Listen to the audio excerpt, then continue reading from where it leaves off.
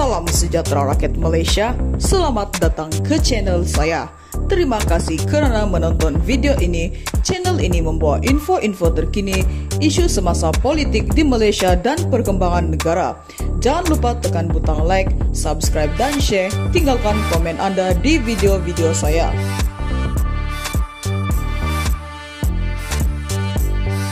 Salam sejahtera rakyat Malaysia. Info dari Agenda Daily.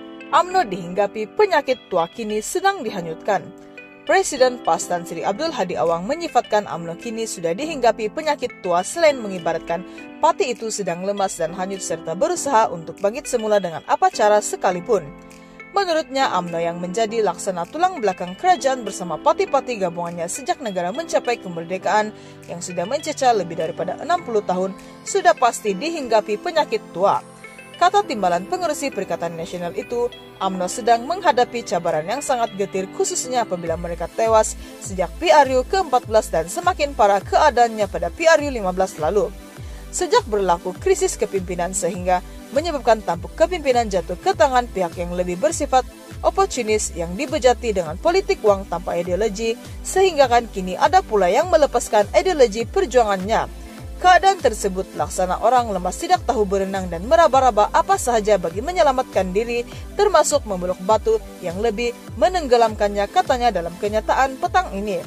Menurut Abdul Hadi yang juga ahli parlimen Marang, perkara sedemikian ternyata berlaku apabila ada kelompok yang melompat ke arah PH yang menjadi gabungan antara parti DAP yang berideologi Calvinist ekstrim, sosialisme bertopengkan demokratik sekuler, terbuka anti-Islam, serta PKR yang pragmatik sekuler dan PAN sebagai alat tambahannya. Beliau mengingatkan bahwa PAS telah mengenali semua parti yang dipeluk oleh pemimpin AMNO yang dipilih menjadi kawannya sekarang semata-mata berasa ingin menyelamatkan diri berada dalam kerajaan yang sangat rapuh laksana ranting kering. Katanya walaupun mereka berjaya menemukan kerajaan pusat hasil jumlah kursi yang tidak mencukupi, tetapi mereka bergayut dengan parti-parti kecil yang rapuh tanpa ideologi yang konsisten. Undi yang dihasilkan pula datang daripada majority bukan Islam bersama slogan menipu rakyat yang kuat bunyinya kononnya mahu menghapuskan rasuah, menentang perompak dan lanun yang terlibat dalam penyalahgunaan harta negara dan lain-lain. Rupa-rupanya semua itu laksana tim kosong yang kuat bersuara tanpa isi yang sebenar apabila semua pihak yang diserang itu menjadi rekan akrab mereka bagi menumbuhkan kerajaan di luar tabi'i. Sekian info hari ini, terima kasih. Salam sejahtera rakyat Malaysia, info dari Agenda Daily. AMNO dihinggapi penyakit tua kini sedang dihanyutkan.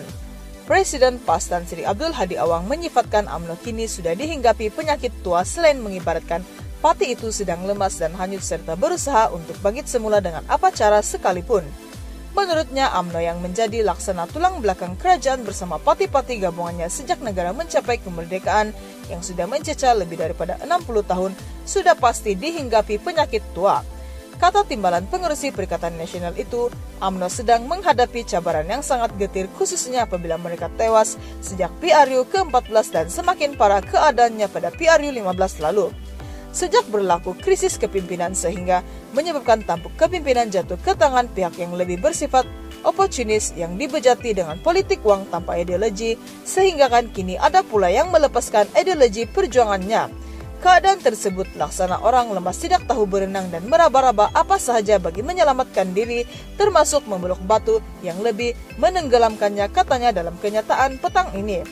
Menurut Abdul Hadi yang juga ahli parlimen Marang, Perkara sedemikian ternyata berlaku apabila ada kelompok yang melompat ke arah PH yang menjadi gabungan antara parti DAP yang berideologi Calvinist ekstrim, sosialisme bertopengkan demokratik sekuler, terbuka anti-Islam, serta PKR yang pragmatik sekuler dan PAN sebagai alat tambahannya.